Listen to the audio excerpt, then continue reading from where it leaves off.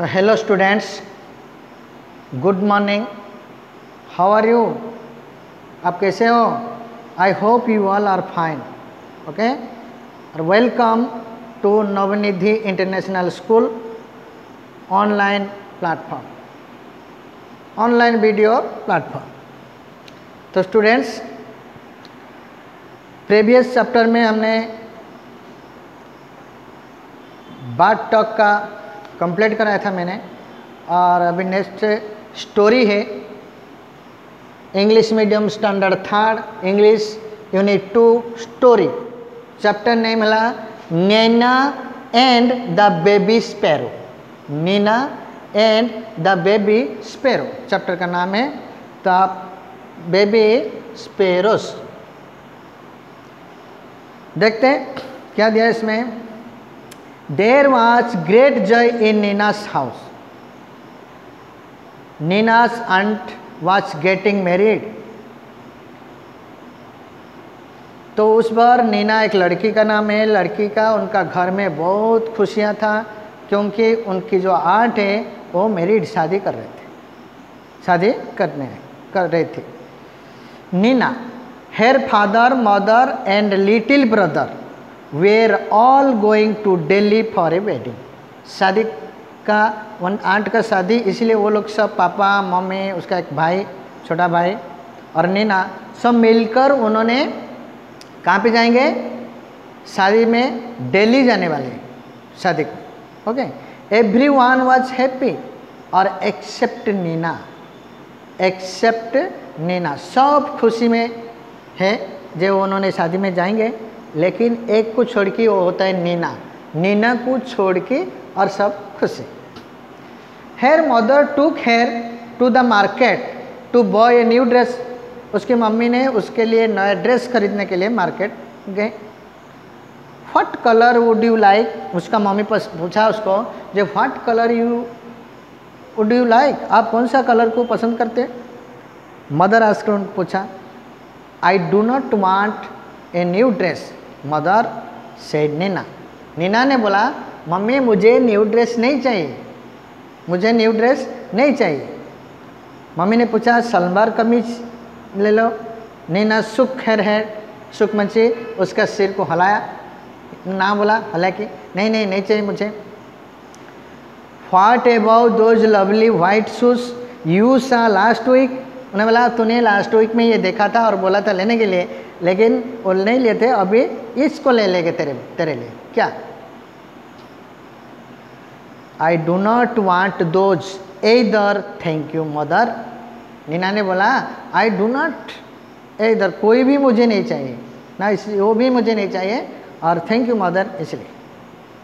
नीना ने Nina's mother was upset Nina का mummy upset हो गया, परेशान हो गया।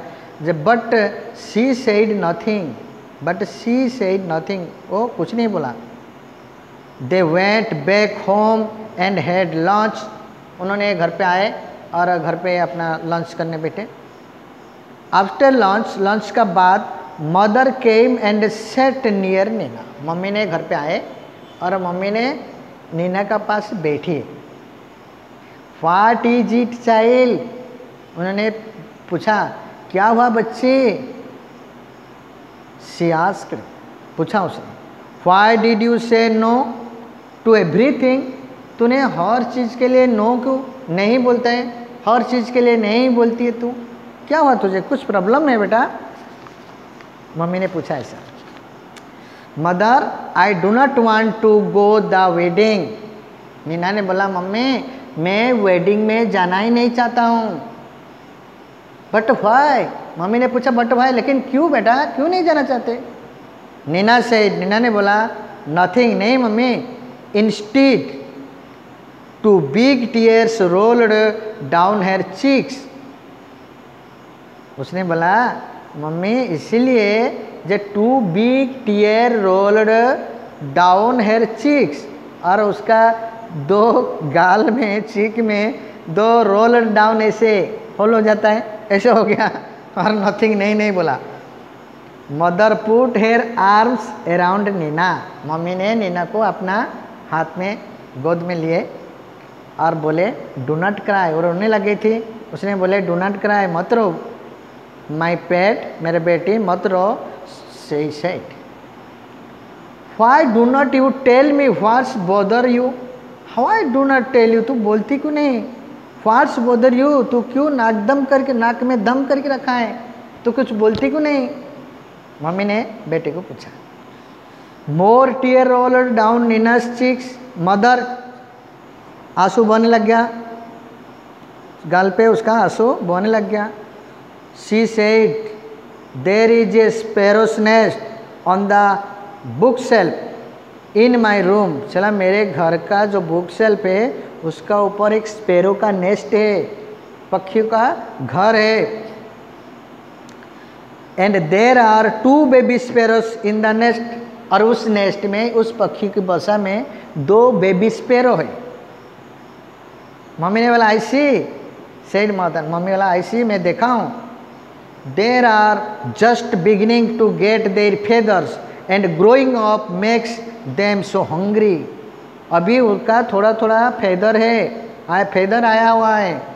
और and growing up makes them so hungry और वो बढ़ते थे, उसको भूख लग जाता है, भूखा हो जाता है। So all day long they cry cheep cheep cheep asking for food और हमेशा वो चिक चिक चिक चिल्लाते रहते फ़ूड के लिए, खाना के लिए।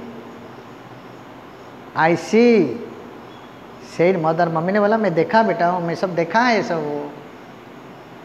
इफ़ वी गो अगर तू जाते हैं the whole place will be locked and how will papa and mama sparrows feed their babies उन्होंने कहा, हम सब अगर घर से चला जाएँगे तो उसने जो घर में लग कर, घर को लग करके चला जाएँगे तो उसका बे स्पारो बेबी का पापा मम्मी आके उन्होंने कैसे उसको खिलाएँगे, उसको फ़ीड कैसे देंगे, उसको कैसे खिलाएँगे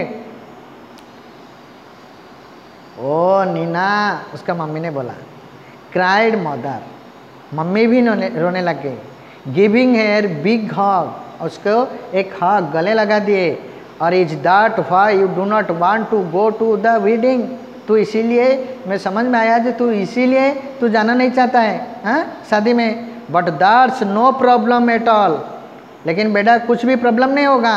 We will leave the window open मैं ये विंडो को ओपन कर रख दूँगा। तो आपको कोई प्रॉब्लम नहीं होगा। ओ can we mother can we really Nina ने बोला, तुम ठीक, तुम ऐसा कर सकते हो, मम्मी? हाँ? वास्तव में ऐसा ही करोगे?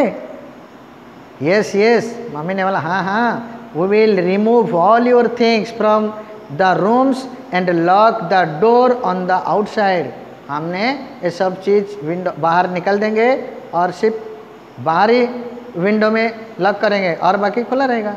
So the house will be pair perfectly safe and papa and mama sparrow can come to go freely और पापा और मामा स्पेरो अंदर आराम से आ सकते हैं और भी जा सकते। हैं इसलिए कोई प्रॉब्लम नहीं होगा।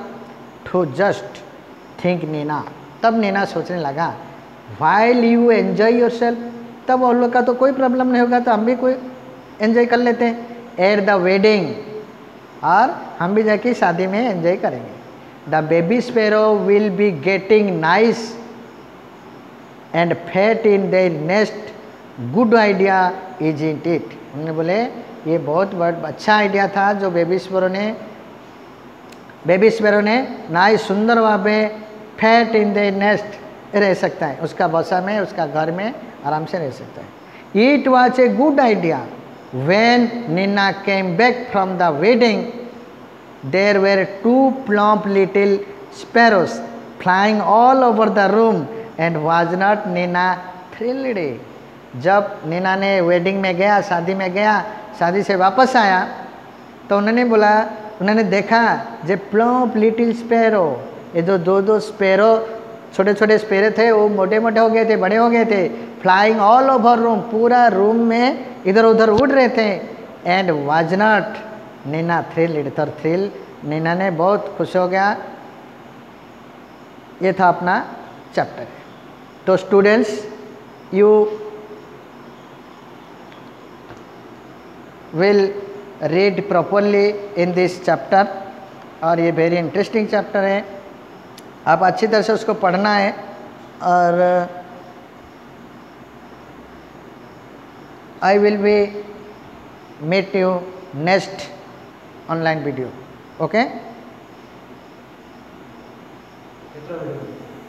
बंद करें